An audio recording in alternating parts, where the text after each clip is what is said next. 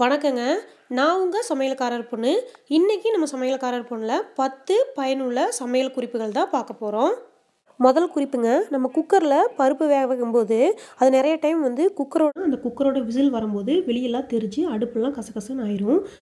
அப்படி ஆகாமல் இருக்கிறதுக்கு குக்கரில் பருப்பு போட்டு தண்ணி ஊற்றிட்டு சின்னதாக ஒரு சில்வர் தட்டத்தை குக்கர் திருப்பி போட்டு நீங்கள் குக்கரை மூடி வச்சு மூணு விசிலோ அஞ்சு விசிலோ விட்டு எடுத்திங்கன்னா உங்களுக்கு குக்கர் விசில் வரும்போது பருப்பு தண்ணி வெளியே தெரிச்சு வராது. அடுத்தது கண்ணாடி பாத்திரங்களை கழுவும் போது நல்லா புளிச்சிருக்கிற இட்லி மாவை போட்டு கழுவுனோம்னா கண்ணாடி பாத்திரங்கள் நல்லா பளபளன்னு ஆயிரும். அடுத்தது மெதுவடை சுடும்போது நல்லா சாஃப்டாக மொறு மொறுன்னு கோல்டன் ப்ரௌன் கலரில் வரும்னு நினச்சிங்கன்னா ஒரு கப்பு உளுந்து அதாவது கால் கிலோ உளுந்துக்கு ஒரு டீஸ்பூனுக்கு அரிசியுமே ஒரு டீஸ்பூனுக்கு துவரம்பருப்பும் சேர்த்து மூணையும் ஒட்டுக்கா ஊற வச்சு மாவு அரைச்சிங்கன்னா உங்களுக்கு மெதுவடை சுடும்போது நல்லா சாஃப்டாக கிறிஸ்பியாக கோல்டன் கலரில் வரும்.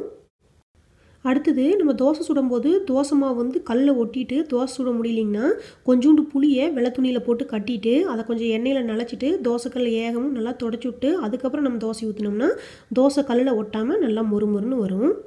அடுத்தது வந்து சில டைம் வந்து சமையல் கட்டிலையோ இல்லாட்டி பூஜை ரூம்லையோ நம்ம எண்ணெய் வந்து யூஸ் பண்ணிகிட்டு இருக்கும்போது கீழே சிந்திரும். அப்படி சிந்தும் போது நம்ம கொஞ்சோண்டு கோதுமை மாவோ இல்லாட்டி அரிசி மாவோ மேலே தூவிட்டு கையில் கொஞ்சம் தேய்ச்சி விட்டுங்க. அந்த மாவு அப்படியே வர மாவாக அள்ளிட்டு ஒரு துணியை வச்சு தொடச்சி எடுத்துட்டிங்கன்னா அங்கே எண்ணெய் சிந்துனதே தெரியாமல் பிசு பிசுப்பே இல்லாமல் சூப்பராக ஆயிரும். நம்ம கடையில் சாப்பிட்ற மாதிரி குஸ்பி இட்லி மல்லிகைப்பூ இட்லி வீட்லேயே செய்யணும்னா நாலு டம்ளருக்கு இட்லி அரிசி எடுத்துகிட்டு அதுக்கு ஒரு டம்ளருக்கு மாவு ஜவ்வரிசின்னு சொல்லுவாங்க. நல்லா வெள்ளை வெள்ளையாக குண்டாக இருக்கும். அந்த ஜவ்வரிசி ஒரு டம்ளர் ஊற வச்சிருவோன்னு.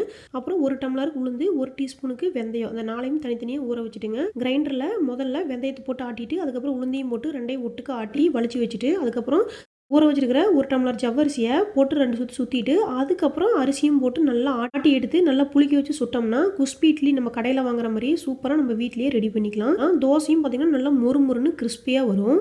நம்ம வீட்டில் லெமன் புளியும் போது பார்த்திங்கன்னா அதுவும் மஞ்சள் கலர் லெமனாக இருந்தால் கூட கொஞ்சம் நல்லா ஈஸியாக புளிஞ்சிடலாம் கொஞ்சம் பச்சை கலரில் நம்ம லெமன் வாங்கிட்டு வந்து புளிஞ்சோம்னா அதை புளியும் போது கொஞ்சம் புளியறக்கும் கஷ்டமாக இருக்கும். நம்ம அதை புளிஞ்சிட்டு இருக்கும்போது பார்த்திங்கன்னா அந்த தோல்லேருந்து பச்சை கலரில் லிக்விட் மாதிரி வந்து நம்ம லெமன் ஜூஸ்குள்ளே கலந்துருச்சுன்னா நம்மளுக்கு அந்த லெமன் ஜூஸோட வாசமே போன மாதிரி ஆயிரும். கொஞ்சம் காந்தல் அடிக்கிற மாதிரி இருக்கும். அப்போ என்ன பண்ணலாங்கன்னா லெமனை யூஸ் பண்ணுறதுக்கு ஒரு காமன் நேரத்துக்கு முன்னாடி கொஞ்சம் வெது வெதுன்னு தண்ணியில் கொஞ்சோண்டு உப்பை போட்டு லெமனை போட்டு ஊற வச்சிடணும். இது வந்து பச்சை கலர் லெமனாக இருந்தாலும் சரி மஞ்சள் மஞ்சளையும் இருக்கிற மஞ்சள் கலர் லெமனாக இருந்தாலும் சரி ஒரு காமன் நேரம் ஊற வச்சுட்டு அதுக்கப்புறம் எடுத்து கட் பண்ணி நீங்கள் புளிஞ்சிங்கன்னா புளியருக்கு ரொம்ப ஈஸியாகவும் இருக்குது அந்த தோல்லிருந்து லிக்விட் மாதிரி வெளியே வருது பார்த்தீங்களா அந்த மாதிரி வராமல் லெமன் ஜூஸோட ஒரிஜினல் டேஸ்ட் வந்து நம்மளுக்கு கிடைக்கும்.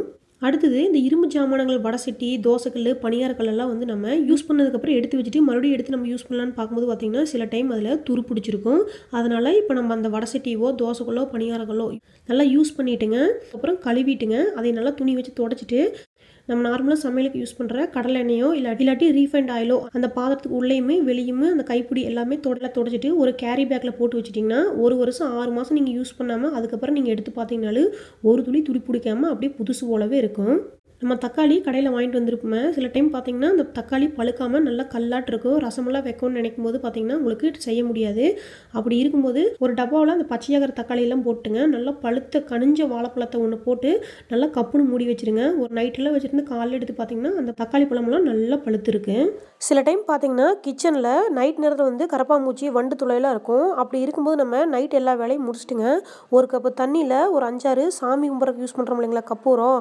அதை அஞ்சாறு நல்லா நுணுக்கி போட்டு நல்லா காட்டன் துணியை வச்சு அந்த தண்ணியை தொட்டு கிச்சன் மேடையெல்லாம் தொடச்சி விட்ருவோன்னு அதுக்கப்புறம் சிங்கில் தண்ணி போகிற ஓட்டை இருக்கும் இல்லைங்க அதுலேயும் ஒரு அஞ்சாறு கப்பூரத்தை போட்டு வச்சிருவோன்னு இதே மாதிரி கைகள் ஒரு இடத்துக்கு வாஷ் பேஷன்லேயுமே ஒரு அஞ்சாறு அஞ்சாறு கப்பூரத்தை போட்டு வச்சிட்டோம்னா நைட் நம்மளுக்கு கரப்பாம்பூச்சி தொல்லையே இருக்காதுங்க. இந்த பத்து குறிப்புகளும் உங்களுக்கு பயனுள்ளதாக இருக்கும்னு நினைக்கிறேன். இந்த வீடியோ உங்களுக்கு பிடிச்சிருந்தா சமையல்காரர் பொண்ணுக்கு சப்ஸ்கிரைப் பண்ணுங்கள் நான் இன்னொரு சூப்பரான வீடியோவோட உங்களை சந்திக்கிறேன். தேங்க்யூங்க பண்ண.